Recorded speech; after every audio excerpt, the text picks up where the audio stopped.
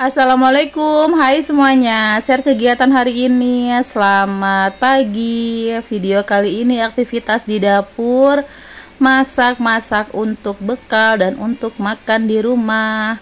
Yang ada di kulkas Ini tuh ada wortel separuh Mau pakai separuh aja ya Karena cuma untuk campuran aja. Nggak banyak-banyak masaknya.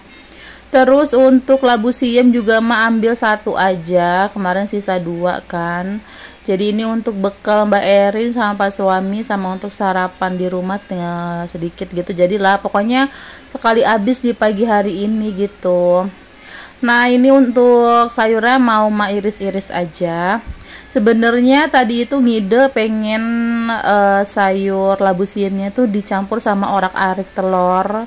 Terus kemarin juga mah baca kan ada yang komen mah uh, labu siamnya diorak-arik pakai telur terus dipedesin enak katanya. Hmm, enak banget memang. Cuman mah nggak bisa masak sayur yang pedes-pedes karena kan untuk uh, mbak Erin sekalian. Jadi biar nggak masak banyak macam gitu loh double-double. Jadi ya udah ini nggak pakai cabe gitu. Terus akhirnya mak skip aja lah ini nggak pakai orak-arik telur pakai wortel aja. Masih ada satu setengah wortel gitu Nah ini mau dipotong-potong panjang aja. Untuk di kompor itu tadi pagi uh, ma bangun masak nasi, terus lanjut masak air minum karena air galon tuh habis. Jadi biasanya kalau air galon habis ma masak aja ya airnya.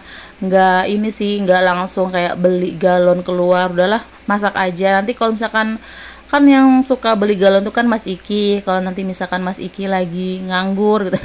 Sebenarnya kalau di rumah sih nganggur terus ya maksudnya kayak lagi kepengen nyuruh aja gitu baru masih ki beli galon. Tapi kalau enggak ya udahlah masak aja. Gitu. Terus uh, masak air untuk mandi. Nah kan sambil nunggu-nunggu bisa nih kita potong-potong sayuran. Untuk masak hari ini nggak seberapa ini sih nggak seberapa ribet. Jadi cuma nyayur ini aja yang agak-agak makan waktu lama motong-motongnya. Terus untuk lauknya cuman uh, ini aja goreng chicken karage. Terus untuk lauk pak suami masih ada ini kemarin kan masak tongkol suwir. Itu kan jadinya lumayan banyak ya. Itu mungkin bisa untuk satu minggu saking banyaknya. Jadi nggak masak lauk lagi. Itu ya ada pedes-pedesnya kan dari si tongkol suwir.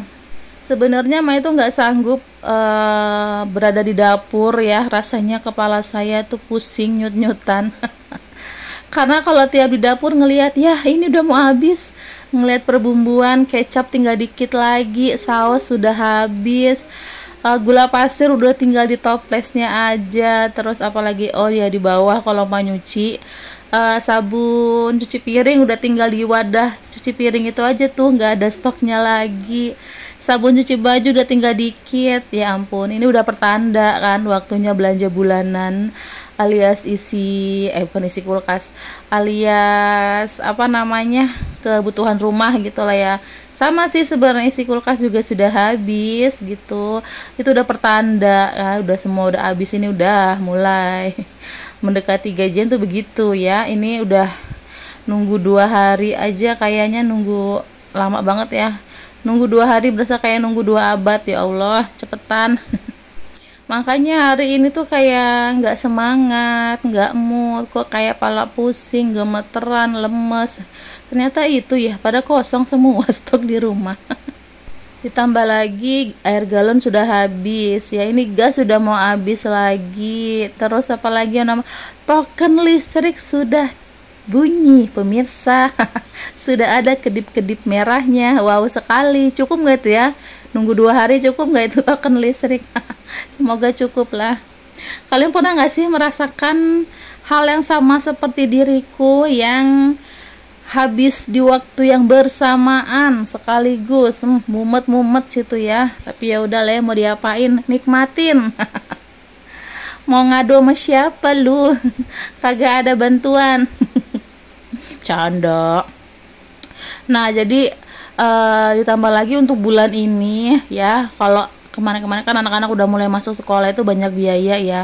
Kayak beli baju waktu itu Mas Iki banyak beli baju sekolahnya. Terus daftar ulang daftar ulang itu sejuta berapa ya? Sejuta seratus kalau nggak salah ya. Nah gajian kemarin ini uh, ada biaya tak terduga lagi yaitu mengeluarkan uang untuk beli buku paket harganya sejuta seratus um, Mbak Erin itu 300 sekian, Mas Iki 700 sekian. Jadi total-total sekitar sejuta seratus yang seharusnya bisa untuk uh, kebutuhan rumah gitu kan. Tapi ya kita pinter-pinter ngatur aja lah ya. Yang mana yang bisa kita tunda dulu kita tunda. Yang penting uh, bayar keperluan anak sekolah dulu gitu. Kayak makan gitu ya. Bisa kita tunda tunda dulu yang seharusnya minggu ini belanja ya bisa bisa ditunda nggak sih? Bisa nih. Ya udah kita tunda dulu gitu. Pokoknya ya bisa-bisa kita lah gimana cara ngatur duitnya ya. Jadi itu yang seharusnya minggu kemarin mah bisa untuk belanja mingguan akhirnya mak tunda karena kan uh, apa namanya kita putar-putar otak gimana caranya bisa bayar sekolah anak dulu gitu. Terus ma juga nggak inget sama sekali kalau menunda bayar wifi ngomongnya wifi apa wifi? Pokoknya wifi itu ya. Mah bayarnya sebulan tuh 370 nah waktu itu mah tunda juga kan. Nantilah karena bayar uh, wifi kan sekitar tanggal 20-an nah ini udah mendekati ini baru bingung. Lah ya juga. Biasanya kan mah bayar itu kalau nggak ada kalau nggak ada biaya tak terduga ya. Mah itu selalu bayar sekitar tanggal 4 tanggal 5 itu wifi udah mah bayar. Jadi kemarin karena untuk bayar sekolah bayar buku gitu ya. Jadi mak tunda dulu itu kayak dah nanti aja gitu. Sampai akhirnya sekarang sudah kalau mau edit video ini udah tanggal 20 ya. Hmm, semoga aja pak suami nggak lupa bayar wifi soalnya mah udah nitip sama pak suami. Ya gitulah kita ya Allah. Uh, uang sekian itu harus cukup untuk ini itu ini itu. Kalau nggak cukup gimana caranya? Cukup di dicukup cukupin gimana caranya diputer-puter ya sakarep mula sebenarnya sih yang dipusingin itu adalah kebutuhan sehari-hari ya kayak makan token segala macam itu yang kita pikirin gitu ya. Tapi kita yang mak pikirin. Tapi kalau untuk SPP anak ya kayak Mas Iki Mbak Erin terus nanti untuk kebutuhan ADL TK terus Mas Iki masuk SMP itu alhamdulillahnya udah ada.